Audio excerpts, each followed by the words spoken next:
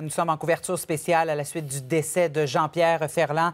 Et vraiment, les artistes sont nombreux à rendre hommage hein, depuis euh, hier à Jean-Pierre Ferland. Oui, on en discute ce matin avec une amie de longue date de ce, de grand homme, Danielle Ouimet, qui est comédienne et animatrice. On la rejoint au, téléphone. Bonjour, Madame Ouimet. Bonjour.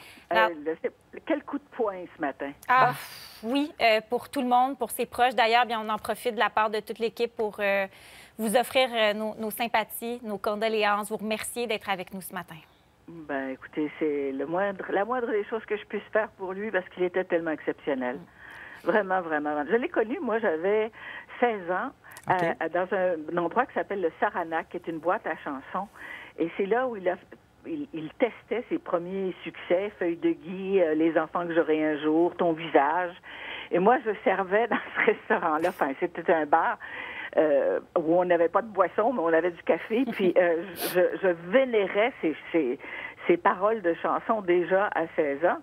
Puis finalement, je ne l'ai pas reconnu personnellement à cette époque-là, mais à 18 ans, je passais une audition Radio-Canada pour faire euh, euh, la poule aux œufs d'or. J'ai été hôtesse à la poule aux œufs d'or.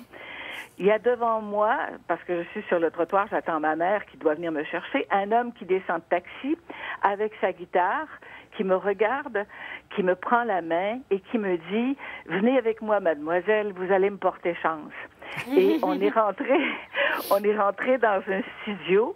Il m'a installé sur un tabouret et là, il a joué une musique parce qu'on essayait de lui faire faire un slogan musical pour un quiz. Les gens ne savaient pas ça, qu'il prêtait sa musique pour des quiz de Radio-Canada. Alors, euh, j'ai commencé là, assez bizarrement, à chanter avec lui parce qu'il m'a, à un moment donné, euh, euh, je lui ai dit que je le connaissais, puis qu'il m'a fait chanter sur place. Puis bon, il est parti et on s'est échangé nos numéros de téléphone et depuis ce temps-là, on est restés les meilleurs amis du monde. À un point tel que quand je suis allée en France pour le, le, le, pour aller présenter mes films mhm. euh, au retour d'un festival de Cannes, il me dit viens voir mon nouvel appartement, je me suis installée à Paris, etc., etc. Et là, euh, il a fait quelque chose absolument qui lui ressemble tellement parce que c'était un être drôle, vous pouvez pas vous imaginer. Il était tellement drôle. Il a, il a, il m'a invité avec Pierre Marcotte à l'époque et avec Robidoux, son, son fameux euh, musicien. On est allé visiter Versailles. Et à Versailles, en arrivant, il a fait semblant qu'il était le roi, le roi soleil lui-même. Et alors, je vois encore, je vois, je, vois encore les guides qui commencent à le regarder parce qu'il parlait vraiment très fort, comme si celle lui appartenait. Et là, il disait, je vais vous faire voir ma, chambre, etc. Et bien, les, les, les, les, guides euh, l'ont pris euh, naturellement sous son, euh, enfin, en, affection. Et ils nous ont fait visiter des pièces qui étaient même pas encore ouvertes au public. Alors, on a, grâce à lui, on a visité Versailles d'une façon tout à fait. Une visite exclusive. surprenante. C'est. c'est un gars qui avait, euh, qui prenait des chances immenses. J'étais pas nécessairement chanteuse, mais il m'a fait chanter plusieurs fois avec lui. Et euh, une des, un des moments les, qui m'est le plus cher à mon cœur, c'est que lorsqu'il a fait Jaune à la Place des Arts, qui en fait a été un moment marquant pour tout le Québec, pour toutes ses plus belles chansons, pour, euh, pour, pour, pour des tas de raisons, euh, il m'a fait chanter dans, dans, dans le, spectacle de Jaune à la Place des Arts, moi qui n'avais jamais chanté devant le public. Je me suis retrouvée devant 2000 personnes du jour au lendemain parce que, et, et ça c'est du Jean-Pierre tout, tout, craché, à un moment donné, il avait demandé à ses musiciens, je vais vous présenter, mais dans une chanson, et ça va s'appeler Oh Boy Amélie. Puis les musiciens disaient, ben non, ça ne tente pas, on veut pas faire ça, etc., etc. Il m'appelle, je suis dans le centre-ville, il m'appelle euh, euh, chez moi. À l'époque, on n'avait pas de, téléphone portable. Et il me dit, écoute, euh, il faut absolument que tu viennes me voir à la place des arts. J'ai quelque chose à te suggérer. Et l'idée était de, de, changer la chanson pour Oh Boy Valérie. Alors, comme le film venait de sortir, ça, ça tombait bien.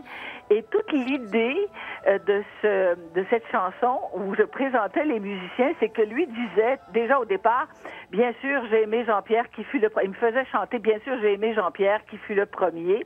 Mais de guitare en guitare, j'ai vu Robidou, j'ai pris goût à la musique et Yves est venu pour Yves Lagacé. Enfin, et, et je présentais les musiciens comme ça, comme si j'avais eu une aventure amoureuse avec tout le monde, sauf, sauf avec lui.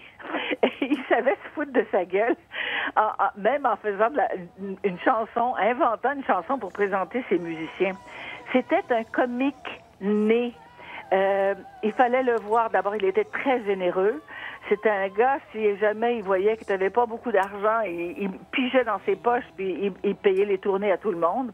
Et qui plus est, parlant de, de, de comique né, quand à un moment donné, il se mettait à faire des monologues, il inventait des monologues.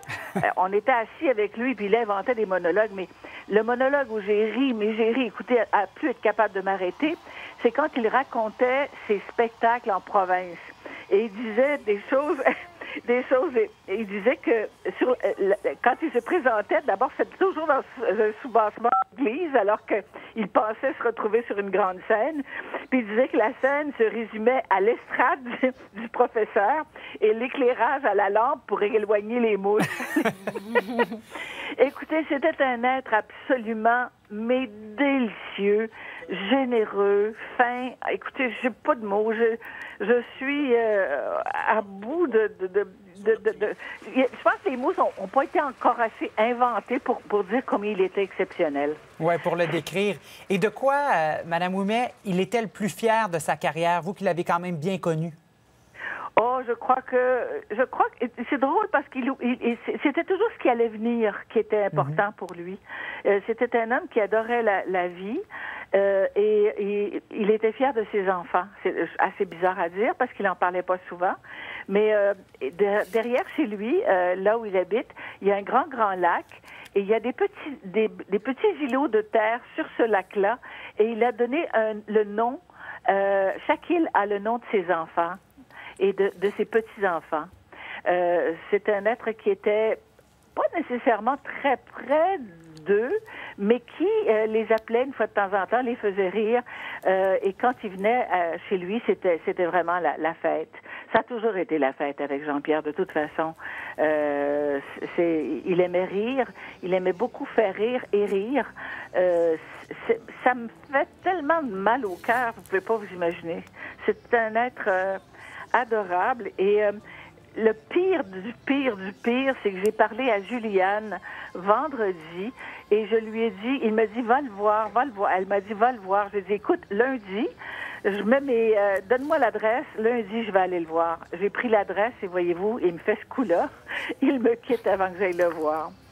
Je, je trouve ça épouvantable. Mais, euh, Madame Ouimet, je suis certaine qu'en ce moment, il vous entend il vous écoute, il sent votre émotion, tout ce que vous avez à partager, puis il est avec vous. Je vous remercie beaucoup. Toute l'équipe vous remercie d'avoir euh, pris un moment pour partager des moments intimes de votre quotidien avec lui. On sent bien votre émotion. Merci. Ben, puis... Marie-Lise et Simon, merci beaucoup de me donner la permission de, de lui rendre hommage aussi ouvertement parce qu'il le mérite.